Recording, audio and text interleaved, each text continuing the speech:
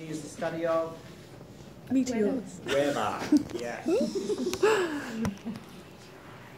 so you can sort of see how we've done landforms, we've done like outside in space, with cosmos, but landforms, bit of weather. It's a pretty comprehensive deal actually. This is why there's so many stories. Each story, do you get it? There's a bit of a, each chart is a bit of a story. Do you get it? Meteorology. Well, so you know when you look at this chart what you're looking at? Not yet, but you will. The top of the mountain, the sun, gives energy down to the land below. Can you see that the layers of atmosphere are quite dense, closer to sea level? And at the top, it's quite sparse. This is why when you climb a mountain, there's not so much oxygen around. A very tall mountain, it's very thin air. And my sister tells me that at the top of Mount Everest, she gets um, she gets uh, altitude sickness a lot. So I say, Jen, why do you want to be a mountaineer again? But basically, your brain dies. When you go up there, your brain is dying. So Jen, two or three of the mountains, she's climbed the tallest mountain on each continent, and two or three times she's had to do it a couple of, try a couple of times because she just gets so sick. Because there's not enough oxygen, and you can see that it's more condensed here. However, the sun doesn't, the energy doesn't have to go through so much. But what it does do is it comes this way. The next chart shows what happens to the sun's energy. The sun's energy goes down, but it bounces off the earth, and sometimes it bounces back off the layers of atmosphere and goes back down. Okay, this is called the greenhouse effect. Sunlight comes in and bounces up, and some of it gets reflected all the way out to space, but some of it gets bounced back by the atmosphere. The more thick you have as atmosphere, the more the greenhouse effect works. So the energy keeps bouncing, bouncing, bouncing up to the um, clouds and down and up and down. And that's what we have as uh, global warming as well. When you have menti, this is you here, or this is this us people, us and the planet. It's a person lying. You know that we're getting warmed from beneath us. Remember that there's a heat source under the planet. In fact, in Finland, they have too much energy. All houses are just heated. You just need to put a house on the ground and it'll be warm because there's all this. Has any guys ever been? It's so cool, and it, just there's so much warmth, and they, they actually export energy. They think, well, how can we get rid of all that energy? We've got too much energy. They don't need um, nuclear. They don't need hydro. It's just so much energy there, and it keeps them warm. So we've got this heat coming through here. The cold from interstellar space comes down and settles on the planet. But we can keep nice and warm if we have lots of layers of atmosphere to keep us, to insulate us. You remember when you put on a duvet, it isn't the duvet that keeps you warm. It's your body that keeps you warm.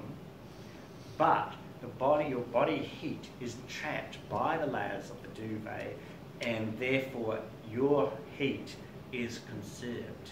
But the duvet does not make you warm. Okay? It's the heat from your body that it traps that makes it feel warm. Because you pump out a lot of heat. If you were the size of a crocodile, or if a crocodile were the size of you, the crocodile eats one ninetieth the amount of energy that you eat. A very, very little amount of energy. Because we spend 90 times more energy keeping ourselves warm than the crocodile does. The crocodile can't keep themselves warm. They don't have any ability. They have to sit there in the sun until it gets hot. And then when the sun's warm them up, then they can move around. When the sun goes away, they have to stop until the sun comes again. But we're mammals, and we can be warm because of the energy we're you understand that about the duvet? A lot of people think that duvets get you warm, but duvets are good insulators. It's you that gets you warm. But if there's not a lot of layers of atmosphere, i.e. at the top of a mountain where it's thin layers, it's cold because it's, there's not many layers of atmosphere to keep us warm.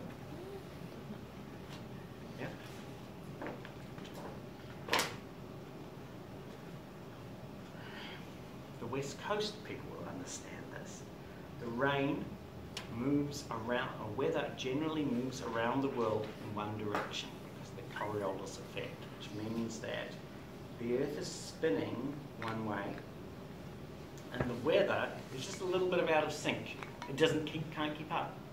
Because if it was a rigid mass, then it would stay um, geostationary, i.e. in the same place as the Earth, but the weather is an atmosphere is like a bubble sitting above, and when the Earth rotates, the the weather or the atmosphere stays back a little bit behind. So we we always get our weather, or most of our weather comes from Australia, right? Because the Earth is spinning this way, and so the Earth. When the weather rain, when the clouds come and they bump into a really tall mountain, they've got nowhere to go, so they hang around here for a bit, but then heaps of clouds are bumping them, so after a while they have to go up, there's a long wind. But when they, a, a rain cloud holds onto a lot of water, but it can't carry that amount of water when it gets cold, and we know that going up makes the clouds cold. So it has to drop all of the rain on this side. If you can see some dots up here, this is Mm. the clouds dropping all of the rain. So it really rains a lot on this side, but it doesn't rain a lot on this side, on the west coast of New Zealand. Eight metres of rain annual rainfall. Eight metres. Being down the west coast, you'll understand that that's an enormous amount of rain. So, this is when it gets a little bit complicated, but it's really cool. It's very nice to know. The sun heats up this area of the planet, about that's closest, right? So we know that hot air rises, okay? Heats the sun heats the land, the land heats the air, the air rises up. So we start to feel that this air is going up. Now, you can't have a vacuum in nature, you can't have nothing there. So if all of this air is gone, what's going to happen is that this air rushes in. Okay? By heating up this area, hot air rises and the air that's either side will rush in. Okay? This is called a low pressure. Can you see why? Because, sorry, this is a, well, I'll talk about high pressure, low pressure in a minute for the other charts. Pressure's going up here, it's hot, the wind is coming in here. What does all of this wind air do? It's come up here, but there's more air coming in underneath it, so it has to go back around. When it goes back away from the sun, it starts to get cooler and cooler and cooler. So, hot air comes up, cold air rushes in to, to replace it. This air now has is displaced, falls back down to the north and south pole, and it creates this cycle of wind. Does this make sense? So, um, hot air, the heat comes down. So the hot rises, it gets pushed out by the cold air coming in, and ultimately the hot air gets cold, sinks down, and then is sucked around again and again and again. Okay? So That's the simple version. Here you can start to see this is the equator. This is the pole.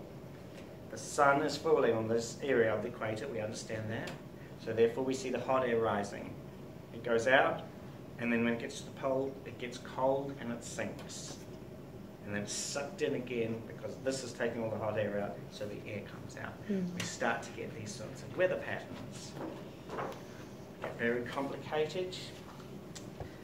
Hot air from the equator goes up, but it sinks down about this point here, which is called the doldrums. Boom, boom. Doldrums are areas where there's not much wind. And if you're sailing in doldrums, then you can't um, move forward. And actually, all your horses die, which is awkward because you really need the horses, which is why you put them on the boat in the first place. So a horse wind is a wind that um, there's just no wind there. And the doldrums are examples.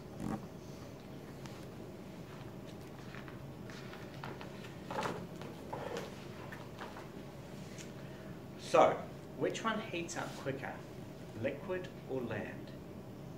Liquid or solid? Which one absorbs the temperature quicker? If you put toast, put jam on to- tomato on toast into a, a oven, which one's going to get hot quicker, the tomato or the bread? The tomato. The tomato, because the liquid will heat up much, much quicker. Mm. But when you take it out, which will get colder quicker? The tomato.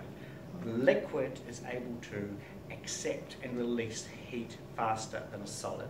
Okay? A solid takes a long time to get hot, but then it takes a long time to get cold. Does Is that why sense? tomatoes are so much hotter on everything? I feel Yeah. like I always burn my tongue and stuff. when you eat Well, they're hotter closer to the time you take them out of the oven, but they're Yeah. colder a little bit later. I think of like the tar roads on a really hot day, like when the sun has set, the roads are still quite hot. Mm. Yes, because the land will retain the heat. Mm. The latent heat capacity of land is greater than the latent heat capacity of water. Is it because of what it's made of? No, it's not the con, not the matter. It's the density of the matter. Okay. If you're a liquid, then you can get hot. You can take on a lot of energy really quickly because heat is just the measure of the average speed of those particles. Mm, hmm hmm They can start moving around a lot faster. That means hotter. Oh Right. yes, okay, that makes sense. and then they can go down. It doesn't matter what the, the substance is, it's just what state it's in. Okay? Having said that, there are different la- latent heat capacities. All materials have got different latent heat capacities, i.e., how much energy they can take on, how Mm. quickly. That's what latent heat capacity is. Make sense? Yes. Cool. So, water, land, hot. When it's day, I've heated up the land. This is probably evening now. I've heated the land. The land is letting off the heat, and the air comes in from the sea onto the land. Okay?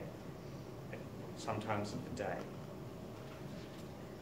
If I heat up the water, then the water will get warm, the air will rise, but if the land is still cold, you'll see the winds go in the opposite direction, which is what we're going to look at. Here, sun heats the water, temperature rises, gust comes off, land is colder, but this air is rising, so we're going to see the wind offshore on and onshore winds are to do with the relative heat capacities of land and water. Okay, so that's why you can tell if you're out sailing and you can't see the land, when it gets the temperature drops, you see which way the wind blowing and you know where the land is because of it. Hmm. So, air comes along, hot air comes along off the sea, bumps into landmass, has to do a U-turn, gets colder, can't carry the water, drops a whole lot of rain. When you see cliffs, you have much more extreme weather.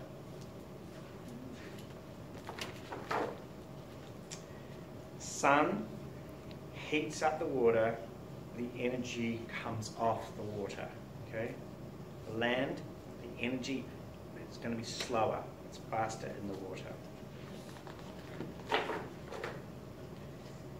When it gets cold again, then you start to see the it raining over the land. And if you've ever been on a tropical island, it rains all the time in the evenings, i.e., the water, air, the hot air over the water has picked up all the water, and then it's, when it's sitting over the land, the land cools, so it cools it mm. down and it rains.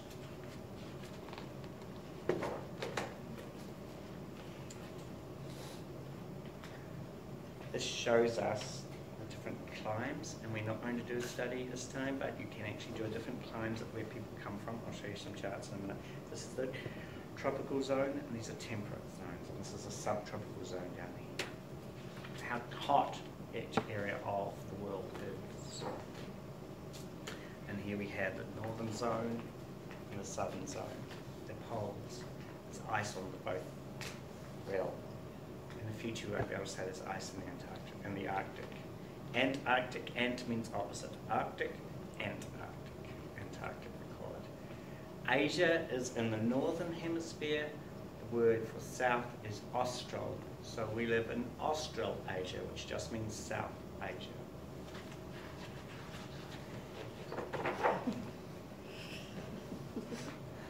What's that? My mind just got blown. I don't know Norway. South frigid, south temperate, tropical. These are the zones of where we live. Here they are again. You can see, where the sun is here, it's hottest and it gets coolest. Map of New Zealand, or the rest of the world hanging around. Helps us to see where the equator is here. You see how most of land mass is above the equator? This line here is the equator Hmm. most of. And so there's very little land mass underneath. There's Australia, bottom third of Africa, and South America are the only sort of big lumps that happen. Whereas those guys get Asia and North America and Europe. There is, of course, Antarctica down here as a landmass. And then these here, this is the southernmost point at which the sun will come up uh, 90 degrees above you, straight above you. And that's 27 degrees because that's the tilt of the Earth. This is the point here. So you can see, let's say this dotted line, can you see the dotted line now? New Zealand's a little bit under the dotted line, all right? So we're closer to the pole than the dotted line. But let's have a look at here, where Europe is. Europe is a lot closer to the pole than New Zealand is. Yep. Fact, possibly the tip of Spain is about the same place as Auckland. Can you see that in terms of how far off the dotted line? This is really a cold, dark, wet place. Hey, it is. Even though it's 32 degrees in Brighton. Oh, too hot. Periodic table of elements which you need to understand how to put together, but that has come up under chemistry. Do You'll remember valence. Do you remember how to put it together?